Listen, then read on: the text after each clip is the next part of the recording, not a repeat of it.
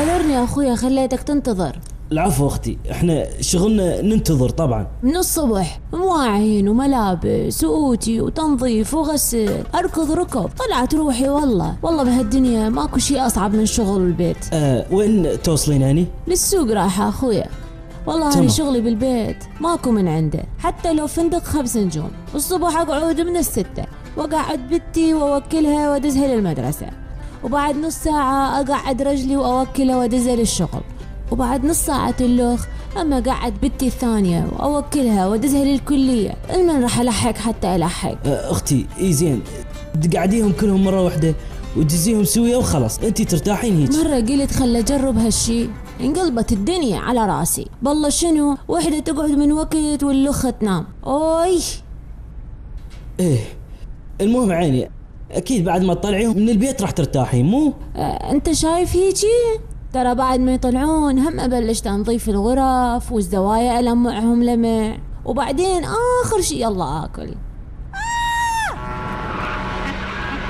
أختي ها؟ أه من دا أحكي لك على أكل. تذكرت بأنه أني ناسيه الأكل على الطباخ. أخويا خلي تمام تمام.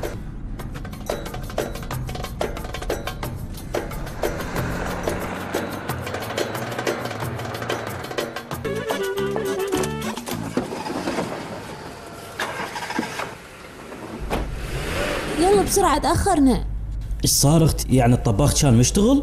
لا لا الحمد لله. كنت مطفيته من طلعت. أه بس الله سترنا. آه يمكن حساسه أنت شوية. مم، مثل رجلي أنت تحكي.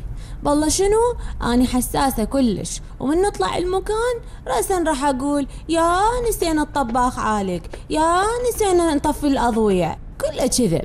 اي أختي أنت تعرفين نفسك طبعا. ذاك اليوم على أساس أضرب أوتي للملابس. يا معودة.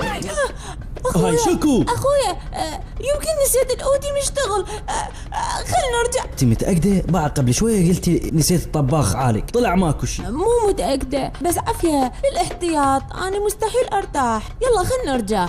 تمام أختي تمام. نرجع. يا الله.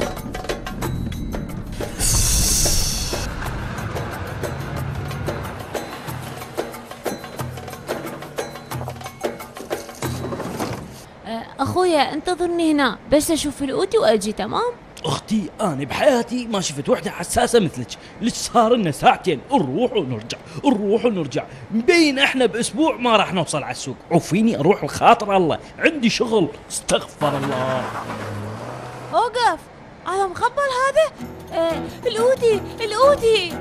خل ألحق.